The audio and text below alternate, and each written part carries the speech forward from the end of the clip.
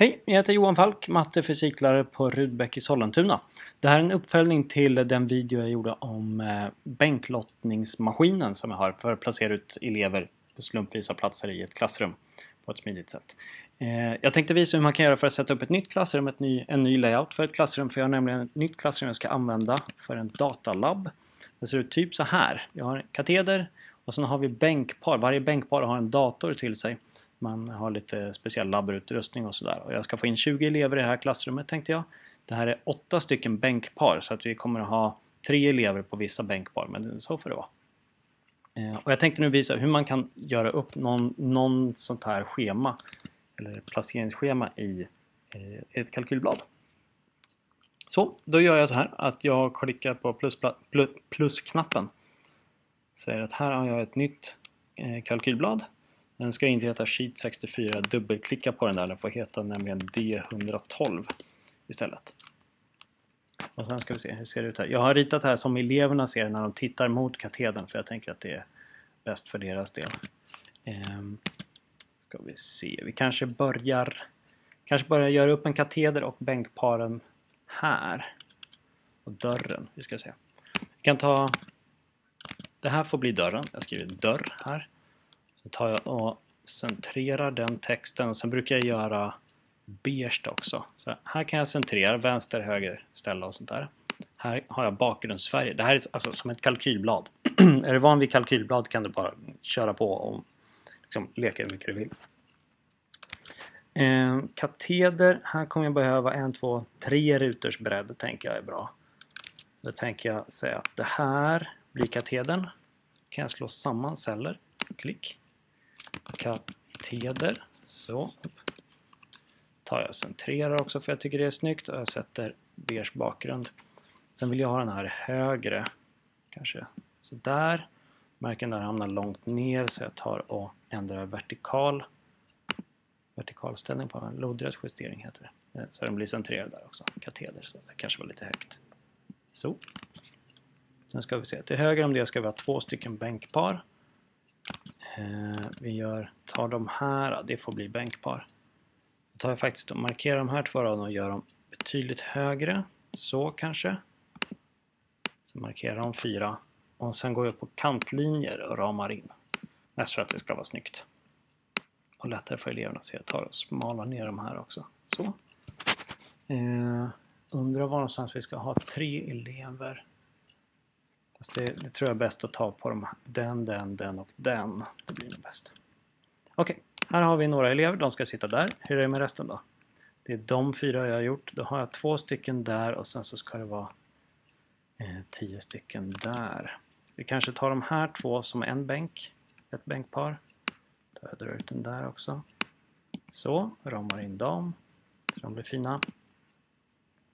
Eh, sen har vi här under två stycken. Jag vill gärna ha en liten lucka här emellan. Så man ser att de inte hänger ihop. Så jag lämnar en rad här som får bli luft. Liksom. Så, ah. Där kanske var lite väl högt. Så höga vill jag att båda ska vara.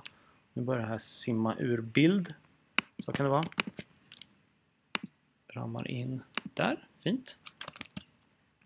Sen har vi den och den.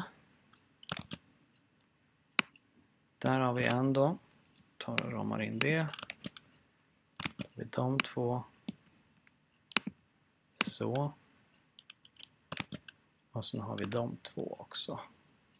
Undrar om det här blir rätt nu. Ja men det blir det. Så. Så. Eh, jag tar och zoomar ut lite grann så jag har chans att se allting på en gång. Så här, nu har jag gjort någonting som lite grann liknar det här faktiskt kan ju lägga till här nere till fönster också så att eleverna får lite mer hjälp. Tar och gör det beige, tar och slår samman celler, centrerar och skriver fönster.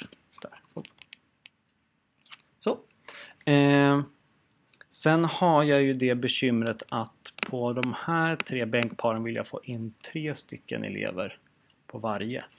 Så då tar jag och gör vad då? Då gör jag så här faktiskt. Jag tar och ökar den här lite grann så. Och sen så tar jag smäller på lite fler ramar här för att visa att det ska få plats fler. Um, undrar om man ska göra lite smalare i allmänhet. Jag gör nog det. Lite smalare. sådär. Så, fick allting samma smalhet. Tar jag och markerar höjderna här och sätter samma höjd på alltihopa. Så kanske. Jättefint. Så. Eh, då har jag gjort en skiss här som liknar klassrummet jag har förutom att jag har förlängt de här, de här med en bänk till. Och det är så jag vill ha det. Sen ska jag börja lotta ut elevplatser, eller säga var någonstans eleverna ska sitta. Och det gör jag genom att sätta ut siffror bara. I den ordning jag vill att eleverna ska placeras ut. 1, 2. Eh, vad blir det här nu då?